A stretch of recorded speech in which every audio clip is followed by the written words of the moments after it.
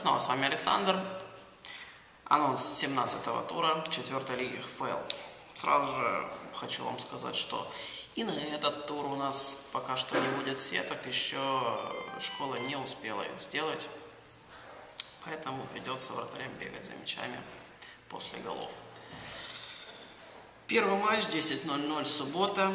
Юпитер против Ети-2. Ну и для Ети снова утренние матчи. В том туре они играли матчи днем. Теперь у них снова матчи утром. Там стоит отметить, что у них матча против инсайда не было. Ну и здесь у них, я не знаю, как сказать, сложный, несложный соперник. Наверное, все-таки эти стоит подумать над матчем с Юпитером. Поставить там хорошего вратаря, подумать над тактикой, а не просто... Ну и крыть Воробья, который забил 4 мяча восходу. Даже там спросить, так кто Воробей из вас, его крыть. Это, в принципе, все пожелания, которые я хотел сказать. Эти игра будет снова же, так сказать, борьба в, турнире, в подвале турнирной таблицы. Эти сейчас на десятое место у нас вышло. Юпитер греет низ таблицы. Ну и если будут показывать такую игру как против восхода, думаю, они поднимутся с подвала и с зоны вылета. Далее 13.00 уже анонсированный мной немного матч в анализе Black Wolves Атлетика 2. Для Атлетика это первый матч, сразу же после этого у них важный матч. Ну, я не сказал бы важно, не важно, важные все матчи. Просто сложный матч против Днепра в третьей лиге. Поэтому даже если Атлетика будет играть, я сомневаюсь, что они полностью будут выкладываться в этом матче. То есть сыграют ровно настолько, сколько им это будет надо. Ну а если Black Wolves будет сопротивляться, то, естественно, Атлетика стоит попотеть.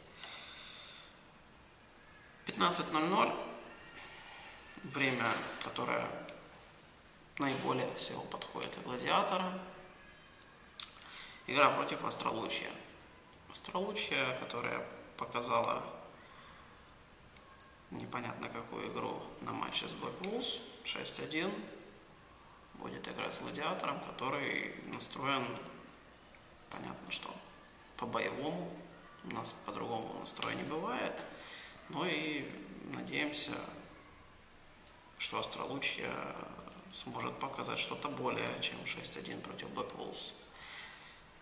Поэтому, кстати, матч против Black Wolves был сразу же против, после матча Добро Гладиатор, то есть матч был на 4 часа, в принципе, то же самое время, хотя ребята еще подъезжали на матч, то есть не успевали некоторые к началу матча, а здесь уже вот на 3 часа, еще раньше на час. То есть поэтому Астролучу стоит пораньше выезжать из дома, но и также поработать над тактикой, потому что то, что было в матче против Black Wolves, это никуда не годится, но и вратарь, который подъехал уже на последние 15 минут матча. И 18.00 Inside которые играют в субботу, значит, они будут. Будет играть с новичком лиги Интер Киев. Что сказать по этому матчу? Инсайд тоже не показатель, даже если Интер Киев его обыграет. Думаю, это будет неплохой старт для новичка лиги.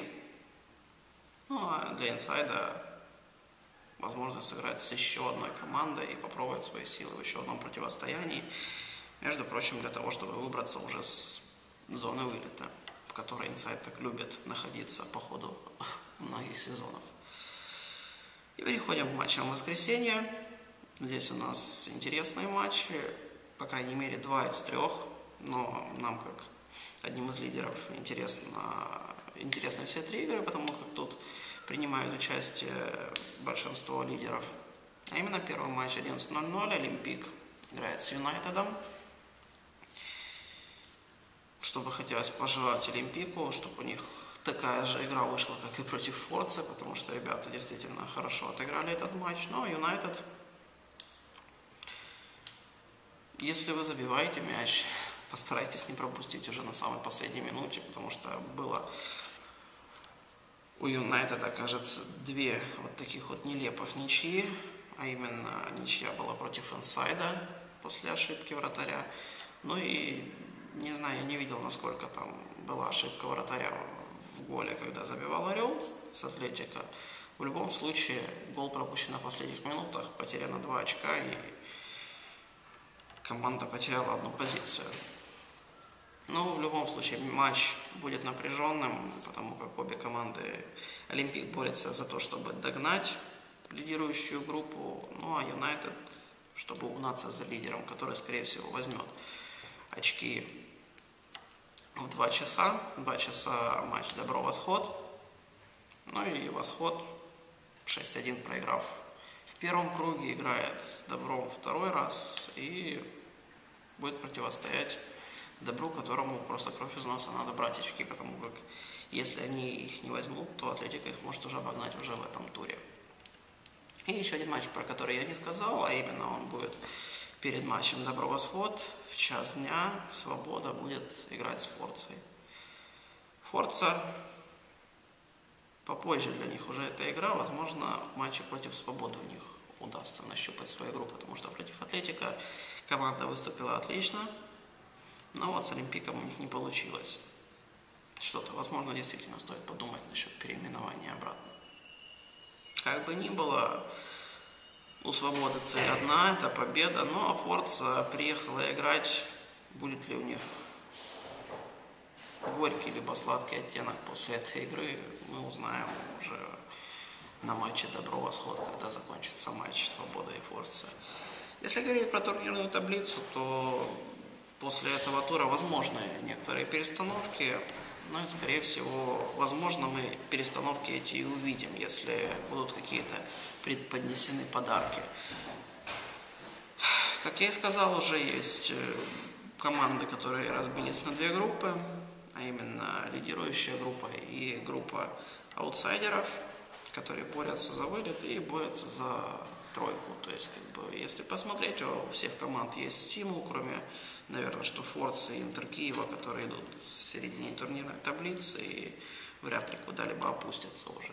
Но, по крайней мере, для Интер Киева возможно опуститься, если аутсайдеры начнут резко набирать очки. Но Форца продолжит играть в свою игру и пытаться отобрать очки у лидеров.